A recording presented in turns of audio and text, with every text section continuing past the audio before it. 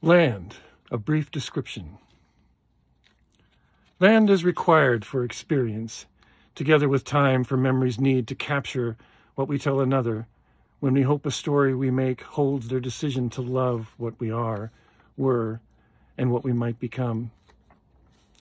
We live on land or on temporary structures that float on the vast seas and lakes that act like land, when earth won't place a mighty escarp where it's needed for rulers to survey what is theirs by coercion.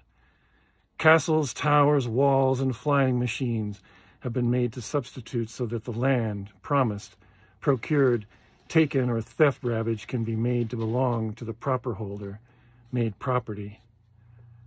Land with holes in it, where earth's fire turns water into steam. Land with swirling colors and boulders arranged by beauty's chance. Land witnessing chance and dance, holding terrible memory of angry slaughter, fought over and forgotten, likely changed by future force of earth.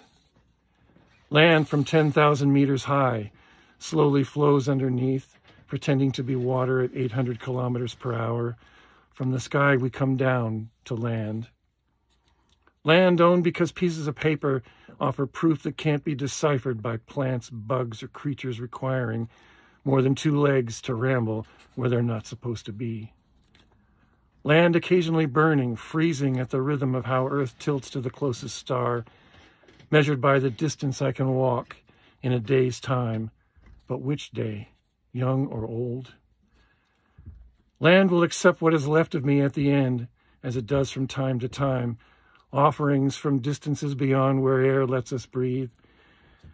This is land that comes from distant sky, land that hears all of the hopefully grandiloquent aspirations as well as the craven curses sent forward to others of my kind, without judgment, being as it is, wise.